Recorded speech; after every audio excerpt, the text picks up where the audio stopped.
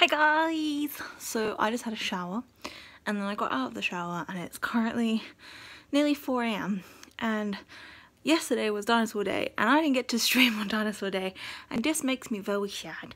So instead here's a random video of me saying I love you all and I hope you enjoyed dinosaur day and I look like a man.